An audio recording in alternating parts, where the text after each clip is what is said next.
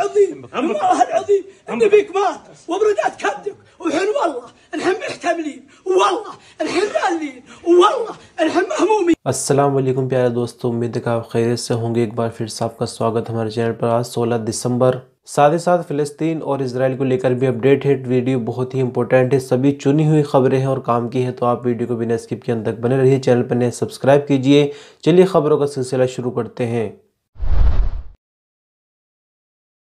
तो सबसे पहले बात कर लेते इसराइल फ़लस्तीन को लेकर। कल हमने ये बोला था कि हम आपको शाम को वीडियो देंगे स्पेशल, लेकिन ऐसा नहीं हो पा रहा है, क्योंकि यदि हम आपको पाँच खबरें बताते हैं तो उसके लिए हमें पचास खबरों से गुजरना पड़ता है। और जिस तरह की दर्दनाक खबरें आ रही है, तस्वीरें आ रही है, वीडियोज़ आ रही है, वो कहीं ना कहीं अंदर से हिलाकर रख देती है। तो चलिए खबर पर आगे बढ़ते हुए, यहाँ प्रॉब्लम ये है कि कौन सी खबर आपको दिखाए और कौन सी न दिखाए, क्योंकि हर दो तीन पाँच मिनट के बाद एक नई खबर आ जाती है। फ़लस्तीन से लगातार जो जुल्म है वो लगातार जारी है इसराइल का। और इसराइल ने जिस इलाके को सेफ़ बताया था, साउथ गाजा का राफा बॉर्डर के पास इलाका, जहाँ के लिए इसराइल ने पहले बोला था कि फिलिस्तीनी वहाँ चले जाए, वरना तो उन्हें नुकसान उठाना पड़ सकता है। तो राफा बॉर्डर के पास रिफ्यूजी कैंप बनाए गए हैं, लेकिन अब उन्हीं कैंप को निशाना बनाया जा रहा है। यहाँ पर वीडियो क्लिप में देखिए, ये एक खाला है और इस बच्चे का पूरा परिवार खत्म हो गया है। ये वीडियो हम आपको वॉइस में भी दिखाएँगे और आप अरब में रहते हैं तो थोड़ी बहुत अरबी ज़रूर समझते होंगे। आप भी सुनिए और समझिए जो कि कहीं न कहीं आपको भी अंदर से हिलाकर रख देगी कि किस तरह से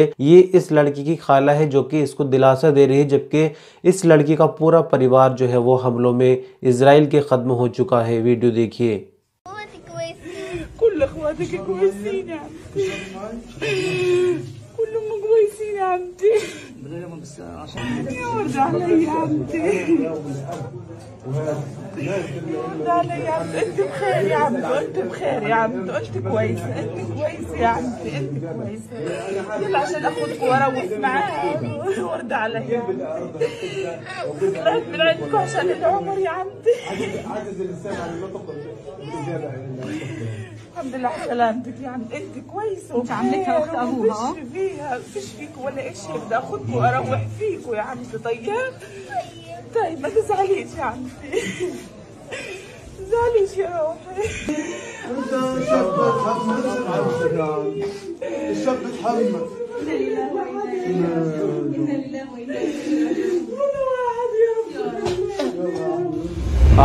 आपने इंडिया के अंदर अक्सर देखा होगा, किसी भी बंदे को पकड़कर जय श्री राम के नारे लगवाए जाते हैं, या फिर कभी मस्जिद के सामने हुड़दंग मचाया जाता है, कोई रिएक्शन मिल जाता है तो बात और बढ़ जाती है, और उल्टा मुसलमानों को जो वहाँ के लोकल के होते हैं, उनको ही टारगेट किया जाता है।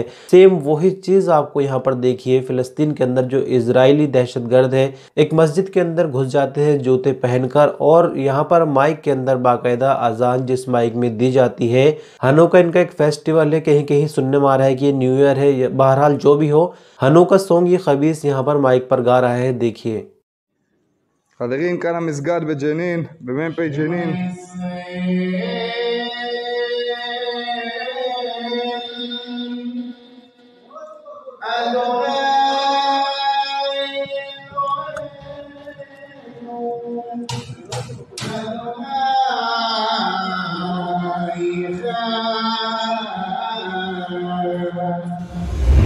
तो शुरू में आपने एक बच्चे की वीडियो देखी अब यहाँ पर देखिए एक तरफ़ तो सऊदी अरब की तरफ़ से मदद जा रही है, एंबुलेंस जा रही है, मेडिकल इक्विपमेंट जा रहे हैं। देखिए, अमेरिका ने कितने खूबसूरत और प्यारे प्यारे खिलौने जो है वो अमेरिका से भेजे हैं। तीसरी शिप इसराइल पहुँच चुकी है, जिसमें हाईटेक मिसाइल यानी जिससे मासूम बच्चों का कत्ल होगा। और यहाँ पर एक चीज़ हमें और देखने को मिली, बहुत दिनों से इसराइल के बारे में और फ़लस्तीन के बारे में आपको खबरें बता रहे हैं। मरने वालों की तस्वीरें भी सामने निकल कर आ रही है, लेकिन आपको यहाँ पर एक भी बंदा पचास साल से ऊपर नहीं दिखेगा। कोई बूढ़ा यदि आपको दिख जाए फ़लस्तीन का, जो कि मारा गया है हमलों में तो हमें भी कमेंट में बताइए, क्योंकि ये मामला आज का नहीं है। सात अक्टूबर से गोदी मीडिया या फिर जो यूरोप का मीडिया है, वो बता रहा है, सात अक्टूबर की बात नहीं है।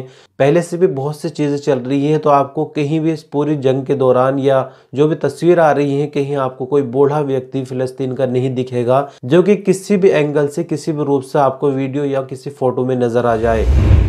इसी खबर पर आगे बढ़ते हुए बात करते हैं यमन की। तो यमन ने कहीं न कहीं, हालाँकि यमन की कोई औकात नहीं है, उन पर रिसोर्सेज बहुत कम है, लेकिन फिर भी उन्होंने हिम्मत दिखाई और अरब लीडर जहाँ पर मौन पड़े हुए हैं, सब कुछ देख रहे हैं, तमाशा देख रहे हैं, बाद में इमदाद भेज देते हैं, मदद भेज देते हैं। यहाँ पर यमनियों ने ऑयल टैंकर को निशाना बनाना शुरू कर दिया है। तीन ऑयल टैंकर हिट कर दिए हैं, यानी यहाँ पर एक तरह से इसराइल की नाक में दम कर दिया है। और यहाँ पर एक बहुत बड़ा प्रदर्शन हो रहा है यमन के अंदर, फिलिस्तीन के सपोर्ट में। आप देखिए वीडियो के माध्यम से। साथ ही साथ यहाँ फिर से आपको याद दिला दे, आप ज़्यादातर जो लोग देख रहे हैं हमारी वीडियो को वो सऊदी अरब में है। सऊदी अरब में आपको एक बच्चा भी कहीं किसी तरह का प्रोटेस्ट करता हुआ नहीं दिख सकता, क्योंकि गवर्नमेंट की तरफ़ से प्रोटेस्ट की इजाज़त नहीं है। एक बहुत ही खूबसूरत वीडियो अमेरिका से निकल कर आ रही है। यहाँ पर देखिए, एक निर्माणाधीन बिल्डिंग जो कि जिस बिल्डिंग में काम चल रहा है, क्रेन इसके ऊपर लगी हुई है। फिलिस्तीन का झंडा लेकर ये बंदा क्रेन पर चढ़ जाता है और हाइट देखिए कितनी ज़्यादा है और वहाँ से झंडा लहराता है। फिलिस्तीन के समर्थन में तो इस तरह के भी लोग हैं और दूसरी तरफ़ सऊदी अरब का हाल देखिए। मदद जारी है सऊदी अरब से, वो अलग बात है, लेकिन सऊदी अरब के अंदर इतने भी गट्स नहीं कि वो जो ऑयल की सप्लाई है कम से कम वही रोक दे। दुनिया भर में जैसे जैसे इंटरनेट बढ़ रहा है, ठगों का काम भी बढ़ रहा है। अब यहाँ देखिए, आमतौर पर तो ठगी होती ही है। एम्बेसी के नाम पर भी ठगी होने लगी है। यहाँ पर किसी ने एम्बेसी के नाम से फेक अकाउंट बना रखा है? और यहाँ भोले भाले लोगों को खरूज लगवाने के नाम पे यानी किसी का हरूब हो या किसी भी समस्या में कोई परेशान हो सऊदी अरब के अंदर उसका खरूज लगवाएँगे, उसको इंडिया भिजवाएँगे वगैरह वगैरह। तो यहाँ देखिए, एक बंदे ने एम्बेसी से शिकायत की है। हम इसके ऊपर एक स्पेशल वीडियो पूरी इन्वेस्टिगेशन के साथ और बनाएँगे। फ़िलहाल शॉर्ट में आपको समझा दें कि इंडियन एम्बेसी की तरफ़ से किसी भी तरह का कोई पैसा नहीं मांगा जाता खरूज लगाने के लिए। चाहे आपका काम डिले हो रहा हो, चाहे दस महीने में काम हो या एक महीने में हो, यहाँ पर एक बंदे ने ऑलरेडी बीस हज़ार रुपये भेज दिए और और ज़्यादा पैसों की इससे डिमांड हो रही है। तो यहाँ आम लोगों को, सभी को सतर्क होने की ज़रूरत है कि ऐसे फ्रॉड के चक्कर में ना पड़े, वरना तो आपका पैसा तो जाएगा ही जाएगा, कोई भी काम नहीं बनेगा। सऊदी अरब के तबुक रीजन में पुलिस डिपार्टमेंट की एक टीम ने नशा करने वाला पाउडर बेचने के इल्ज़ाम में दो पाकिस्तानियों को गिरफ़्तार किया है। पुलिस ने मुलजिमों के कब्जे से तीन सौ चौरानवे ग्राम नशा करने वाला पाउडर बरामद किया, जिसको वो बेचने की तैयारी में था, यानी पैकिंग कर लिया था इन्होंने, और ये बेचने की इसको तैयारी में थे कि इससे पहले पुलिस ने इनको रंगे हाथों गिरफ़्तार कर लिया। फ़िलहाल शुरुआती पूछताछ के बाद इनका चालान तहकीकात करने वाले विभाग के हवाले कर दिया, जहाँ से इनके केस को फौजदारी अदालत में भेजा जाएगा।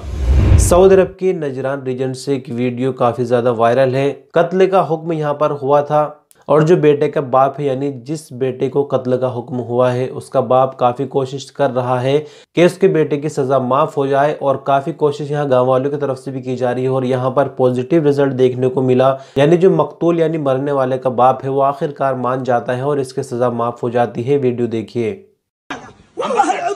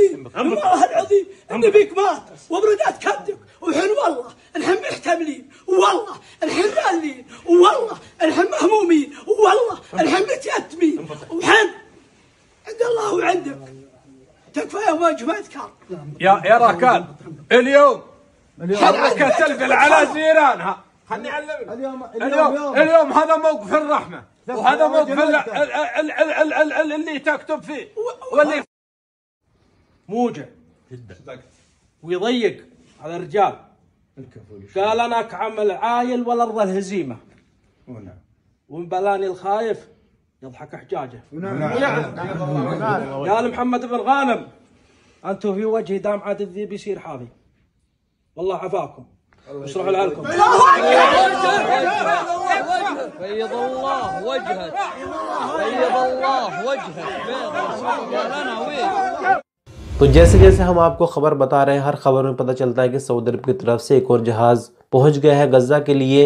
यह इस खबर के मुताबिक 28वां जहाज़ रफा बॉर्डर पर पहुँच गया है गजा में, जो जंग से पीड़ित है जो जंग से प्रभावित है उनके लिए। इस 28वें जहाज़ के अंदर 15 टन से भी ज़्यादा सामान, जिसमें मेडिकल सामान, कंबल वगैरह, ब्लैंकेट या फिर जो भी ज़रूरी सामान होता है खाने पीने का, वो इसके अंदर लोडेड है। और ये जहाज़ अट्ठाईसवा भी अबू हरीश एयरपोर्ट जो कि मिस्र का एयरपोर्ट है वहीं पहुँचा है, उसके बाद ज़मीनी रास्ते से गजा जाता है क्योंकि गजा के अंदर एक भी एयरपोर्ट नहीं है। तो अंत में आपको सऊदी अरब और ईरान के रिश्तों के बारे में बताते हैं। सऊदी अरब और ईरान के जो रिलेशन वो आहिस्ता आहिस्ता इम्प्रूव हो रहे हैं, बेहतर होते जा रहे हैं। सऊदी अरब की तरफ़ से उम्र के लिए वीज़ाएँ खोल दी गई हैं। अब ईरान ने भी एक तोहफा सऊदी अरब को दिया है। ईरानी गवर्नमेंट की तरफ़ से सऊदी शहरियों के लिए वीज़ा की शर्त ख़त्म कर दी गई है। अब सऊदियों को भी उन तैंतीस मुल्कों में शामिल कर लिया गया, जिनके सिटीज़न बिना वीज़ा लिए ही ईरान जा सकते हैं। जिन 33 देशों के लिए ईरान ने वीज़ा को फ्री कर रखा है, उनमें से कुछ देश इस तरह से हैं, जैसे कि इंडिया, रूस, यूनाइटेड अरब अमीरात, बहरीन, कतर, कुवैत और लेबनान जैसे देश इसके अंदर शामिल है, जिसमें सऊदी अरब को शामिल कर लिया गया लेकिन यहाँ पर हैरान करने वाली बात यह है, फ्री वीज़ा सिर्फ़ वन वे है, यानी ईरान में जा तो सकते हैं, लौट नहीं सकते।